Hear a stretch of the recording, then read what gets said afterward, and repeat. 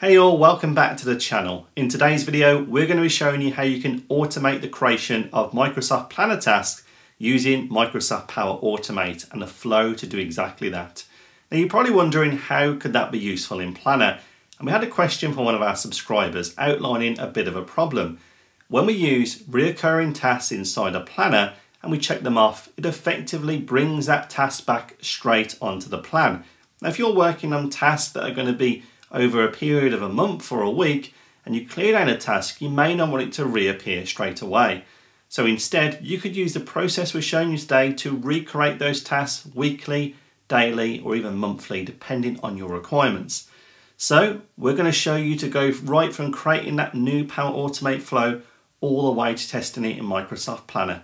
Now, if you do like this content, we'd love it if you hit that like button and follow some more great content in the future. And let's head into Power Automate and get started. So let's get started with creating a new flow to recreate tasks in a Microsoft plan every single month.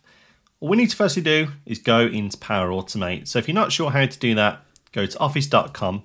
On the left hand side, click on the app launcher. It's actually called the waffle. So it looks like a bit like a waffle, right? And you don't see Power Automate, go to explore all of your apps. And at the bottom, you will find the option for Power Automate. Click into Power Automate, you'll land at the home page and we're going to go and also create a new flow. What I've also done for this actual tutorial is I've already went and created ourselves a brand new Microsoft Planner. There's a couple of custom buckets being scoping and financials, otherwise entirely empty to allow us to test out our changes. But you could also use an existing plan to also have this work for you as well. So let's go back into Power Automate and click on Create on the left hand side to get started. And as this tutorial is focused on the creation of tasks every single month, we're going to select Scheduled Cloud Flow. We're going to give it a name.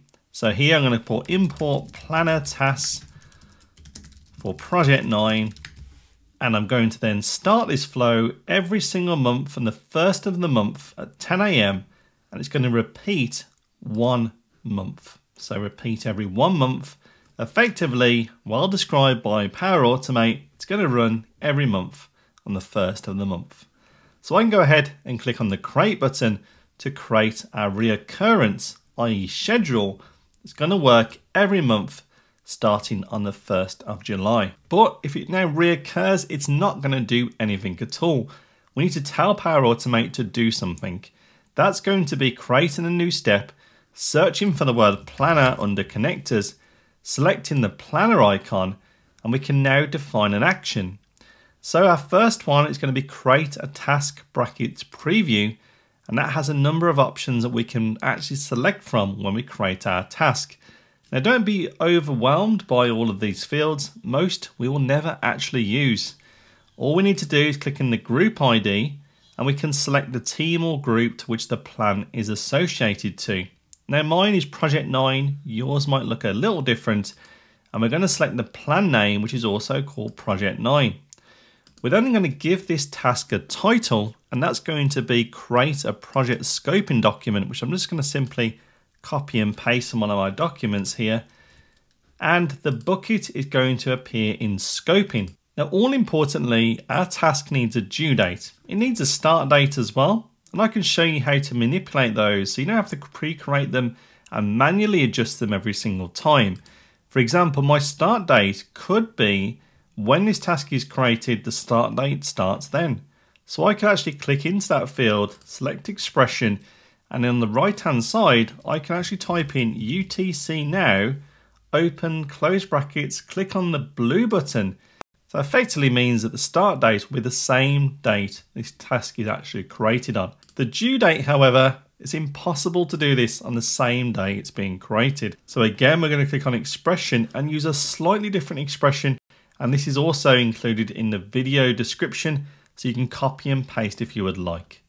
Now this here is going to be add days. So i.e. we're going to add some days.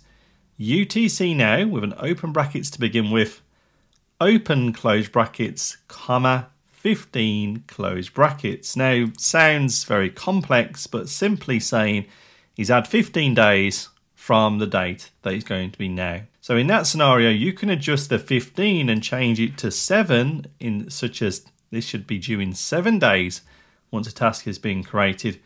Click OK and it'll now add this expression in and pre-create our due date. You can also assign user IDs by typing in email addresses and putting semicolon, although they should be a member of your plan to allow that. But I'm not going to do that in this scenario. I'm quite happy just to assign it when that task is created. But if it's yourself, as an example, you can put your own email address and it will effectively assign the task to yourself.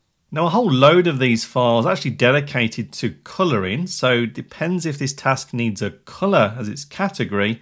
I can mark this as a green category by dropping into the drop down, selecting yes, leave all the others blank, and it simply means this task will have a green label or category applied to it once it's being created. Priority is also pretty useful at the bottom. Hovering over it will tell you effectively what this means, but in short, 1 is urgent, 3 is important, 5 for medium, 9 for low. So I'm going to mark this as urgent, just to show you how that looks by putting a priority 1. Now that's all great, but you will also note that we're missing a few things. We're missing a description, we're missing things like checklists. They don't appear on our task here. So can we add those? And of certainly we can. Go to the bottom, click on New Step, and again search for the word Planner. This time scroll to the bottom and we're going to be looking for Update Task Details. Click on that here and you'll now see we're prompted to input a task ID, but it has no idea what that ID is because it says no items. Well, it wouldn't know that because a task doesn't exist. We are designing a task, we haven't built one yet. So if I click on enter custom value and on the right hand side I can select the ID of the task, it now means that the task with this ID will be updated by this action. I can now add a further description by adding further details. Again, I'll copy and paste this from my document here to save us some time. And it'll add a further description or comment into that task, providing more relevant information. I could also add references to other files, such as Excel or Word files, but I can also add a checklist. So here I'm going to add a very simple checklist. Our first ID always begins with 1. We then need to give our checklist a name, so i.e. this is the name of the first item in our list. So it's going to be gathering project requirements. And is it checked? No. And I'm going to add another item. This time select 2 as the ID give it effectively a different checklist title and mark it as no to be not automatically checked once it's been created. Now, a habit of mine, and for good housekeeping, we should really rename these tasks and these actual tasks inside of Power Automate. For example, create a task preview, update task details are not very good because if you want to create more tasks inside of this flow, you have them all are the same name. It's impossible to know when things go wrong. We need to go and make a change to a particular task. This will save you a whole heap of time later. So click on the three dot menu, select rename, and you can rename this action. So this is going to be create project scoping document task. The next is going to be much the same. Update project scoping document task. So rename, update, project scoping document task. Nice and straightforward. So we now have the relevant names of our tasks here in our Power Automate. The problem is though, we're going to want to know if this works. Now I could say we could wait until the 1st of July to make sure it works, but that's not very useful. So instead, what we can do is click on the Save button to the right hand side, and then click on the Test button to the right, and we can now select manually and click Test and Power Automate will run this flow regardless of the reoccurrence date.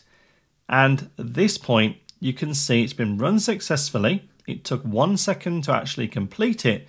And if I go into my Project 9 planner, as if by magic, there is our task with a green label, create project scope and document marked as urgent, with start and due dates, notes, and a checklist pre-created using Power Automate. So you can of course add more tasks in Power Automate to create many of those. And of course, as we've seen now, on that schedule, when it runs itself on the 1st of July and every month thereafter, it's going to pre-create these tasks for us in exactly the same way. So how does this differ though to a reoccurring task you may add? Well, in a reoccurring task, if I was to mark this as reoccurring, and I could still do that because the task has also been created. It doesn't have that association anymore. I could say work on this weekly and then close it.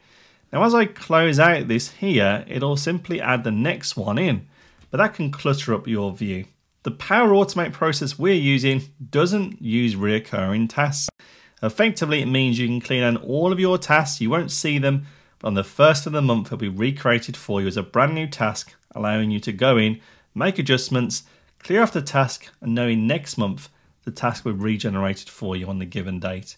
So nice and easy to do to build your own Power Automate flow and to get that running for you.